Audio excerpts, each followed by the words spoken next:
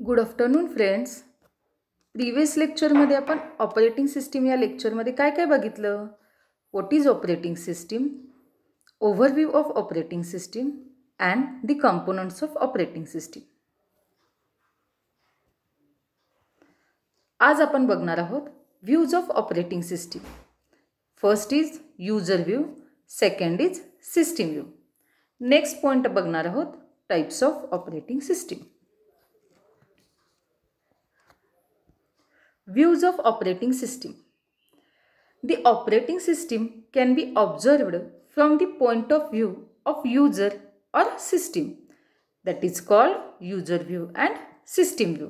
म्हणजेच काय हा जो ऑपरेटिंग सिस्टीम आहे ते कोणत्या पॉईंट ऑफ व्ह्यूने बघितलं जातं तर फर्स्ट आहे युजर सेकंड आहे system that is nothing but user view and system view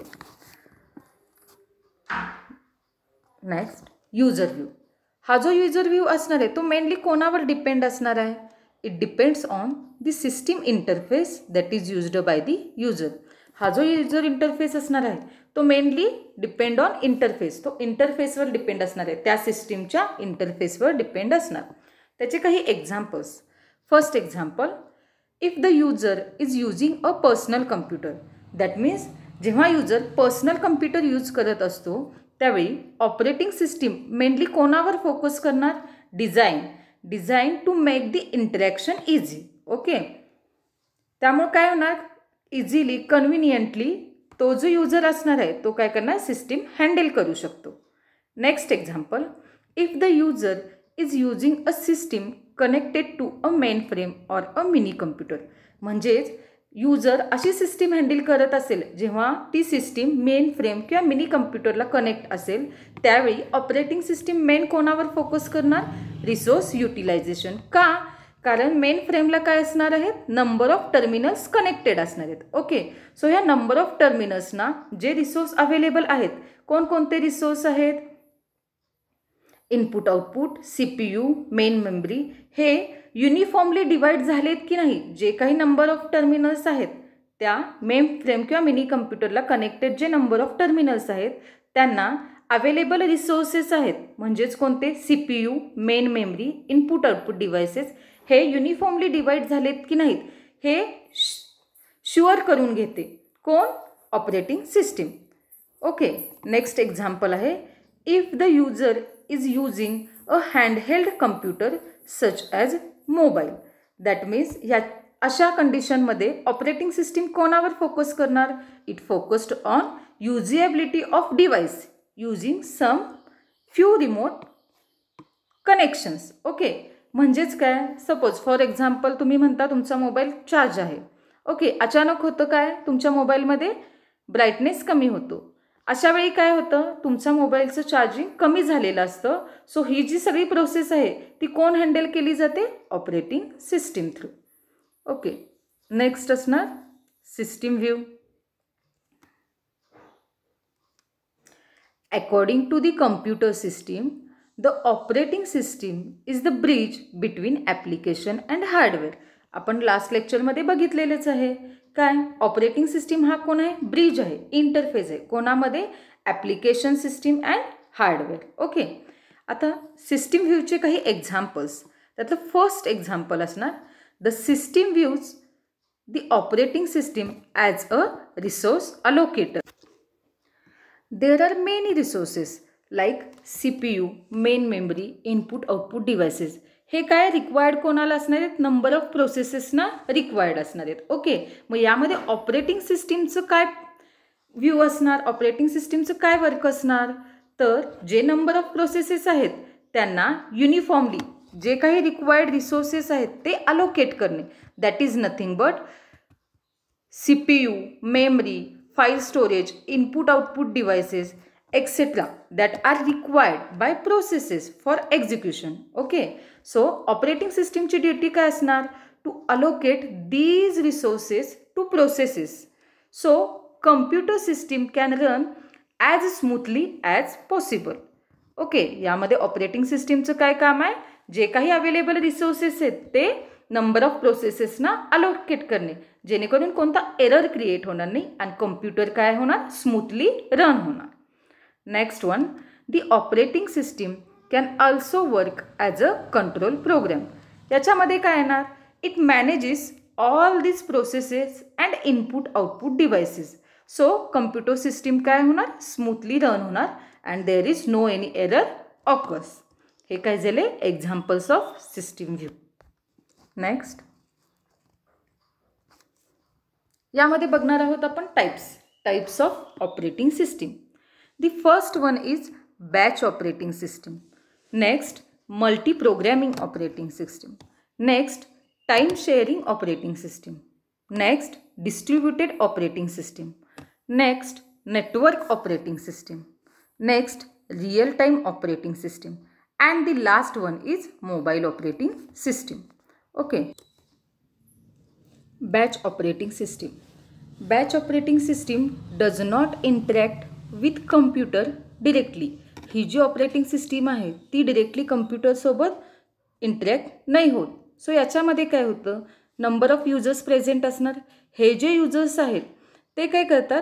prepare करतात. जॉब प्रिपेअर करतात. सेपरेट जॉब प्रिपेअर करतात. On offline device like punch card okay आता जॉब मीन्स वॉट जॉब म्हणजे प्रोग्रॅम प्लस इनपुट डेटा त्याच्यासाठी लागणारा जो data आहे तो input data plus control instruction. या सगळ्यांचं कलेक्शन म्हणजे काय? Job okay so each user काय करतात? जॉब प्रिपेअर करतात. आणि हे तयार केलेले जे जॉब्स आहेत ते काय केले जातात? ऑपरेटरकडे सबमिट केले जातात. नेक्स्ट हा ऑपरेटर काय करतो? जे नंबर ऑफ जॉब्स क्रिएट केलेले आहेत कोणाकडून? बाय युजरकडून त्यांच्यामध्ये असणारी सिमिलरिटीज बघून त्यांचा एक ग्रुप बनवतो. जितके नंबर ऑफ जॉब्सची सिमिलरिटी आहे त्याचा एक ग्रुप असे डिफरंट ग्रुप बनवतो. त्या ग्रुपलाच काय म्हणायचं? बॅच फॉर एक्झाम्पल आपला सिक्स्टी स्टुडंट्सचा एक क्लास आहे. ओके आता all sixty students at the same time आपण लॅबमध्ये जाऊन घेऊन जाऊ शकतो शकतो का प्रॅक्टिकलसाठी नाही. सो त्याच्यासाठी आपण काय केली जाते? ट्वेंटी ट्वेंटी ट्वेंटी असे डिवाईड स्टुडंट्स करून काय केली जाते? त्याची बॅच बनवली जाते. हीच कन्सेप्ट आपल्या ऑपरेटिंग सिस्टीममध्ये सुद्धा आहे. सो बॅच ऑपरेटिंग सिस्टीम कम्प्युटरसोबत डिरेक्टली इंटरॅक्ट नाही होत. त्याच्यासाठी काय केले जाते? नंबर ऑफ जे युजर्स आहेत ते काय करतात? स्वतः जॉब क्रिएट करतात. स्वतःचे जॉब बनवतात आणि ते काय करतात? ऑपरेटरकडे सबमिट करतात. हा जॉब म्हणजेच काय? प्रोग्रॅम प्लस लागणार input data plus control instructions okay मग हा जो ऑपरेटर आहे तो काय करतो? जी सिमिलरिटीज आहे ज्या ज्या जॉबमध्ये सिमिलरिटीज आहे त्याचा ग्रुप बनवतो. That is nothing but batch next काय केलं जातं? हे कशासाठी केली जाते? ही बॅच का बनवली जाते?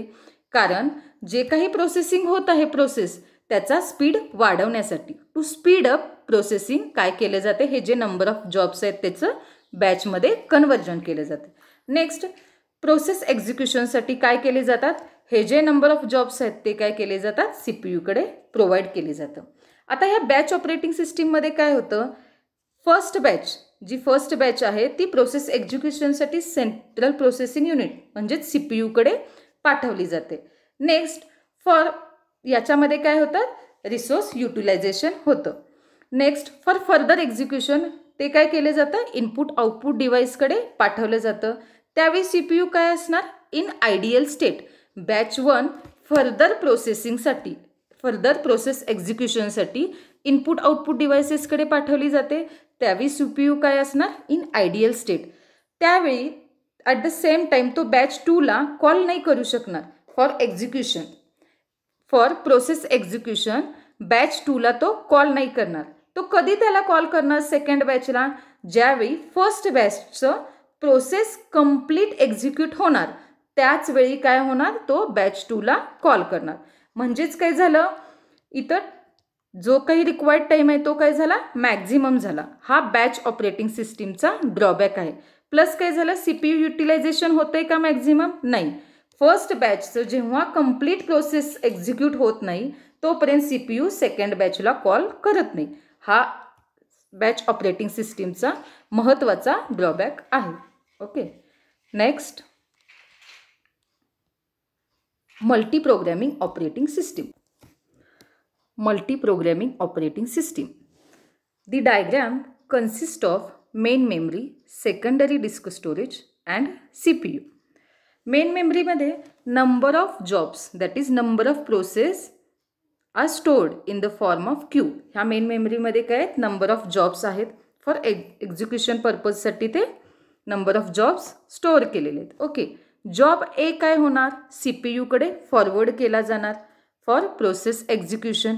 Next C P U काय करणार? जो काही डेटा आहे तो काय आउटपुट डिव तो इनपुट आउटपुट डिव्हायसेसकडे फॉरवर्ड केला जाणार.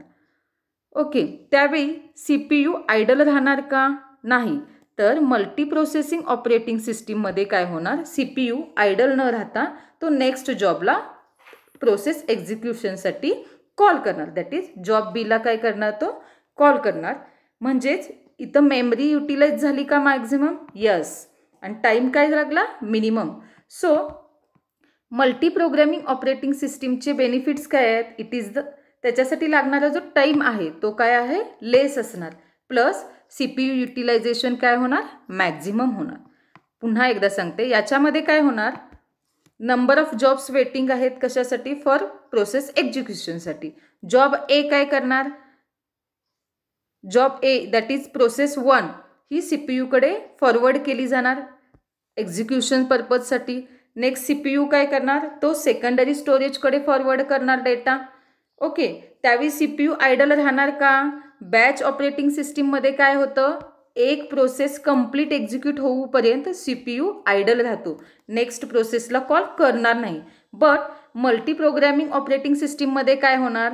एक सी पी यू नेक्स्ट जॉबला कॉल करणार.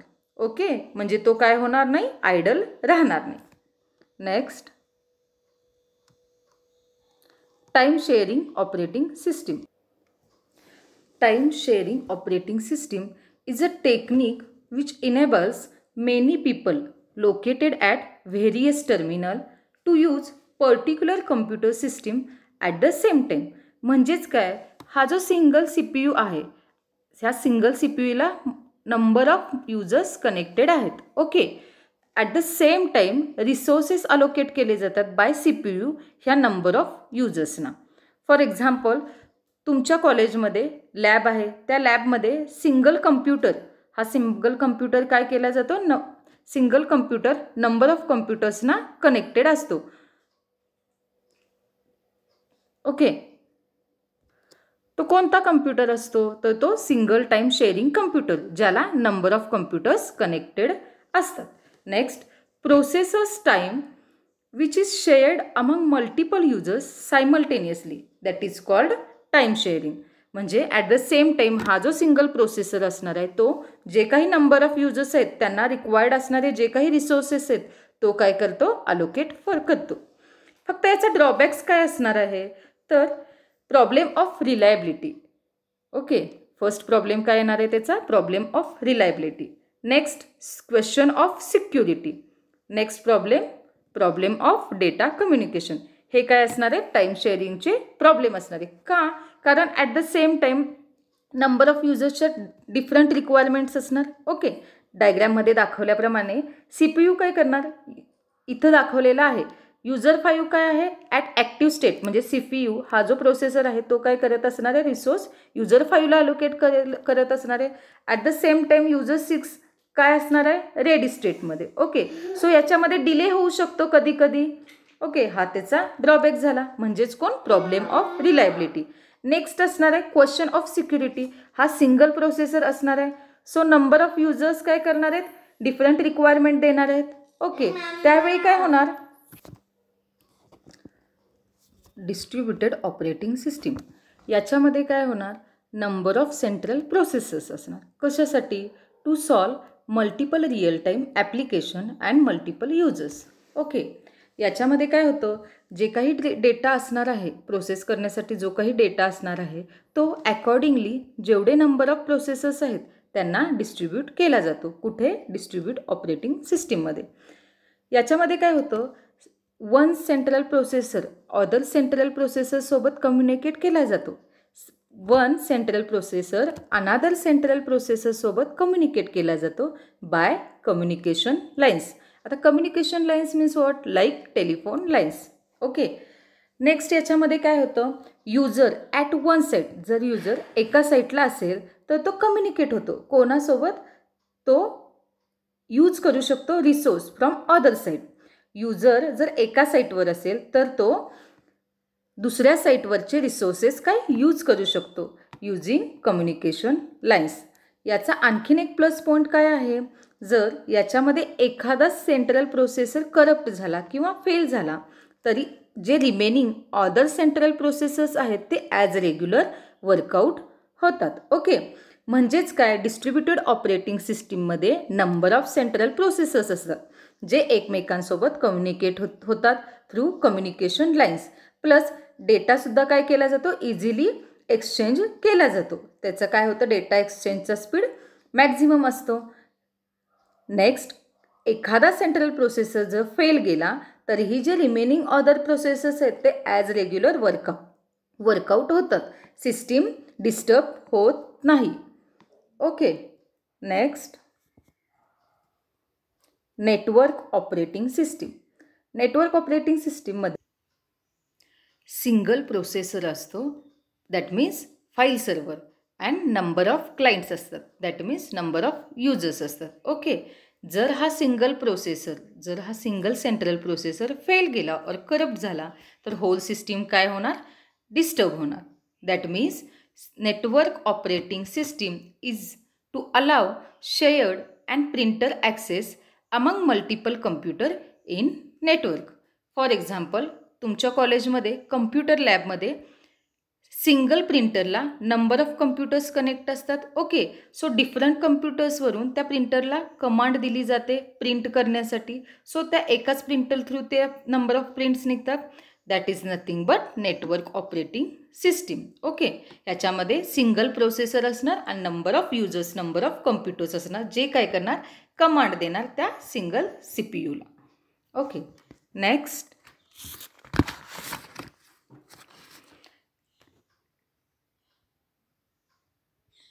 Real time operating system.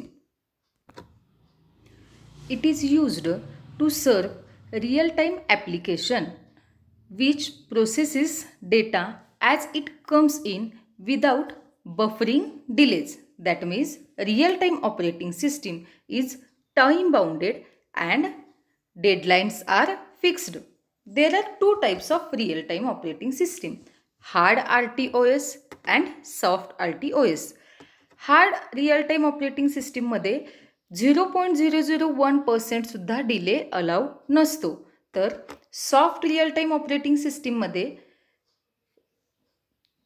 थोडा डिले पॉसिबल असतो. फॉर एक्झाम्पल बँकमध्ये एका अकाउंटवरून दुसऱ्या अकाउंटमध्ये आपण जेव्हा पैसे ट्रान्सफर करत असतो तेव्हा एका अकाउंटवरून पैसे तर डिपॉझिट केले जातात दुसऱ्या अकाउंटवर पण दुसऱ्या अकाउंटपर्यंत ते पोचलेले असतात का? काही वेळेला ते तिथे थोडा डिले ऑकर होतो. त्याच्यानंतर पुन्हा त्या दुसऱ्या अकाउंटला डिपॉझिट होतात. एका अकाउंटवरून दुसऱ्या अकाउंटवर पैसे. तिथं काय होतं? सॉफ्ट डिले ऑकर होतं. किंवा दुसरं एक्झाम्पल घेऊ शकता तुम्ही ए टी एमचं. जेव्हा तुम्ही ए टी एममध्ये पैसे विड्रॉ करायला जाता तेव्हा विड्रॉ केल्या केल्या लगेचच तुम्हाला मोबाईलवर मेसेज येतो का? तुम्ही पैसे ए टी एममधून विड्रॉ केला असा नाही. ठराविक वेळ लागतो त्याच्यासाठी. सो तिथे काय होतं? सॉफ्ट डिले ऑकर होतो. Next one is mobile operating system. Okay. Android I O S BlackBerry Symbian हे कोण आहेत? मोबाईल ऑपरेटिंग सिस्टीम आहेत. नाईंटी फाय पर्सेंट युजर्स कोणती ऑपरेटिंग सिस्टीम यूज करतात? अँड्रॉइड. ही Android operating system Linux based आहे. Plus ही user friendly convenient आहे. Okay. So ninety five percent users काय करतात? अँड्रॉइड यूज करतात. नेक्स्ट वन इज सिम्बाईन हे काय आहे? ही ऑपरेटिंग सिस्टीम कुठे यूज केली जाते? पूर्वी नोकिया मोबाईल्स यायचे okay Nokia S thirty S sixty याच्यामध्ये सिम्बाईन ऑपरेटिंग सिस्टीम यूज केली जायची. Next I O S I O S operating system फक्त ही एकाच कंपनीमध्ये यूज केली जाते. ती कोणती आहे? ॲपल आयफोन जसं की आयफोन ओके नेक्स्ट आहे BlackBerry Android Symbian I O S and BlackBerry ह्या चारमध्ये ब्लॅकबेरी ऑपरेटिंग सिस्टीम ही मोस्ट सिक्युअर आहे मोर सिक्युअर आहे. का? कारण याच्यामध्ये युजर्स डिटेल आहेत. ते प्रॉपरली काय केले जातात? एन्कोडेड असतात. प्लस याच्यामध्ये सेंट्रलाइज्ड सर्व्हर मॅनेज करतात. सो ह्या चारमध्ये काय होतं? ब्लॅकबेरी हा मोस्ट सिक्युअर ऑपरेटिंग सिस्टीम आहे. Thank you